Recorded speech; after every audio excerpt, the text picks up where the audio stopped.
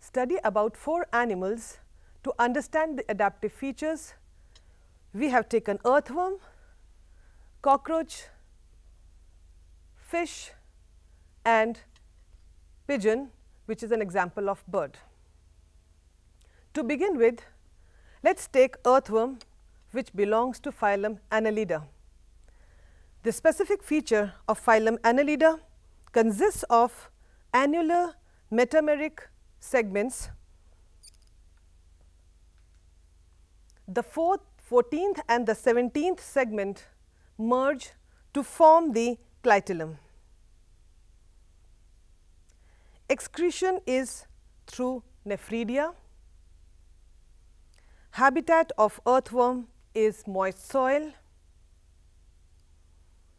It is an hermaphrodite. In the same organism, you find the male and female reproductive organs. Earthworm is a very useful animal. It is known as the friend of a farmer. It burrows into the moist soil, makes it soft increases the fertility of the soil and enhances agriculture. Earthworm belongs to phylum Annelida and other examples are leech and nereis. The second example that we are taking into consideration is cockroach which belongs to phylum Arthropoda and class Insecta. It is characterized by jointed feet and a segmented body. The body of a cockroach is divided into head, thorax and abdomen. It is covered by chitinous appendages. Circulatory system is open. Sexes are separate.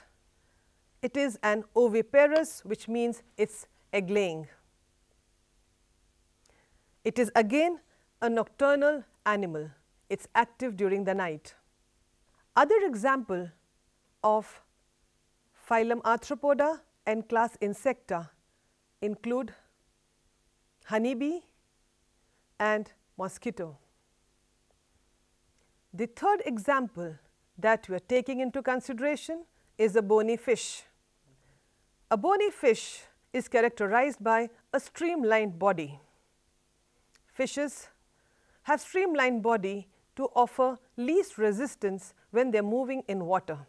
They have specific features like gills which are covered by operculum which helps in respiration, fins that help it to move in water, scales that protect the body from entry and exit of water. It may have a terminal or a ventral mouth. Fishes may be cartilaginous or bony depending upon the skeleton. Example of bony fish is Labeo. An example of cartilaginous fish is Scoliodon.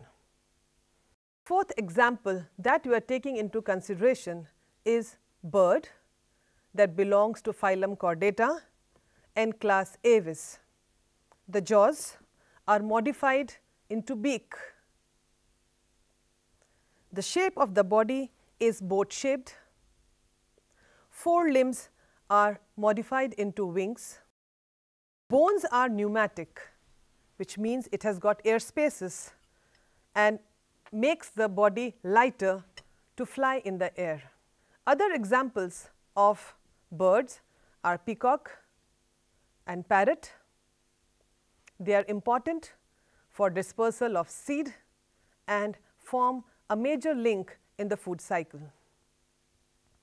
After observing all the features of these animals, you may now learn to draw and highlight the features.